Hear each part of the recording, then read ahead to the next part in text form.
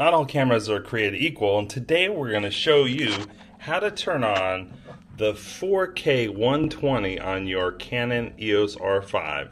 It's Wes, welcome to today's video. Today, you're gonna learn how easy it is to activate high frame rate on your Canon R5. You're a beautiful person and a good person, and if no one has told you that today, let me be the first one to tell you that. Maybe you uh, don't use slow motion, but you should try. The results are absolutely stunning, especially in 4K 120 on the R5. It's one of my favorite modes to shoot in.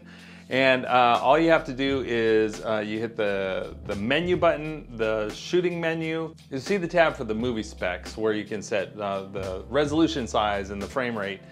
And so you, you tap that, but before you go into select uh, by tapping on what the actual setting is and you open up your options, you look right below that and says high frame rate enable or disable. Click on that, click enable, and when you come back, 119 or 120 frames per second is enabled.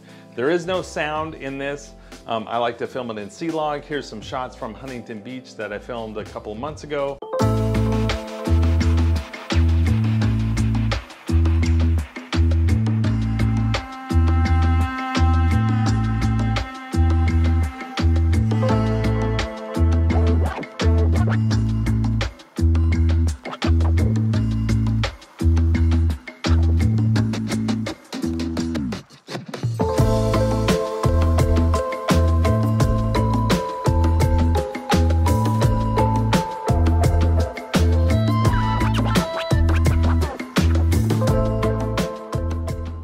Editing Wes here, I just remembered on the R5 you cannot record in slow motion either 60 or 120 frames per second unless you record on the CF Express card. So make sure that you're not just using the SD card slot, that you have the CF Express, um, which is a faster card and it's totally worth it, um, even though it's more expensive. All right, back to the video.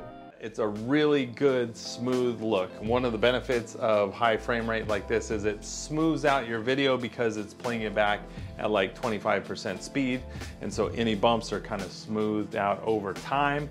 And so they're less jarring. Uh, so that's one benefit. Another benefit is maybe you film something for a minute, but there's really only a second or two of great emotion or great composition and that stretches that moment out. So uh, jump on in, try high frame rates. Even if it's 60 frames per second, do that. This is how you enable 120 frames per second on your Canon R5. If you're new to the channel, subscribe if you like this video. I do videos on Canon and Fuji, and I'm a freelance photographer here in California.